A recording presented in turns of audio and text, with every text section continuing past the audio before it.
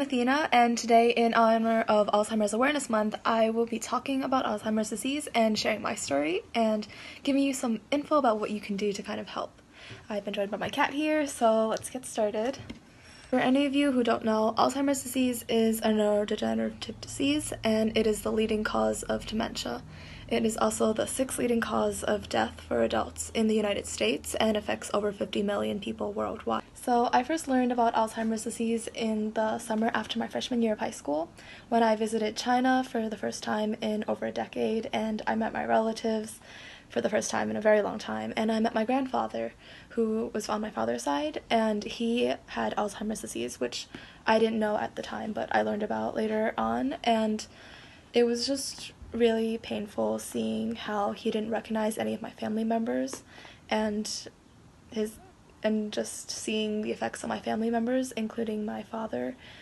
Because my father is not really the type to be sensitive but he was kind of on the verge of tears because just the decades of the connections with his father and his father didn't recognize him he didn't know his name and he didn't recognize any of us or even any of it the people he's been living with.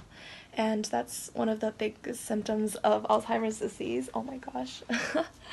but yeah, that's one of the key symptoms, including memory loss. And when you can't remember things such as where you placed your keys, per se, or where you are and you can't get around anywhere and so that was that's very difficult especially for caregivers because somebody that they love just doesn't recognize them anymore and isn't able to perform daily activities like they know like they used to be able to. And it also is very confusing for the person who has it.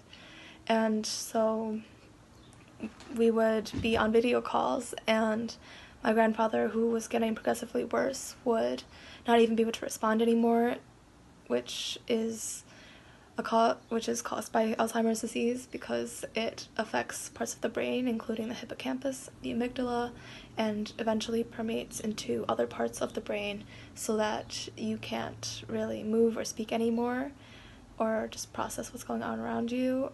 And that was very difficult because he would stare at the camera and he just wouldn't say anything. And I remember before he would repeat the same stories over and over before he was unable to talk anymore. And just this January, my grandfather passed away, and that was very painful. This past week was actually Father's Day, so that was also very difficult. And yeah, so that's my experience with Alzheimer's disease, and that's also sparked my interest in learning about neuroscience and how I could possibly help find a cure in the future. Alright, so what can you do to help? Well, promoting awareness and education definitely is important, so doing all you can to learn more about Alzheimer's disease and any other neurodegenerative diseases, sharing information about it with your family members, especially if any of your loved ones are showing symptoms, that definitely is something important because in- early intervention can definitely help, and working to end the stigma because some people definitely feel like they've lost some of their worth in society with an Alzheimer's diagnosis. And at the same time, if you have time or money and you want to volunteer or donate to an organization such as the Alzheimer's Association, that definitely is something that would really be appreciated. And really just educating yourself and others by promoting healthy lifestyle habits that can help reduce your likelihood of getting Alzheimer's and the likelihood of those around you getting Alzheimer's at the same time, some of these things are very simple, such as eating healthy or getting enough exercise, learning something every day to make sure that your brain is healthy, and practicing neuroplasticity, and really just learning about it and being aware because that really is very important.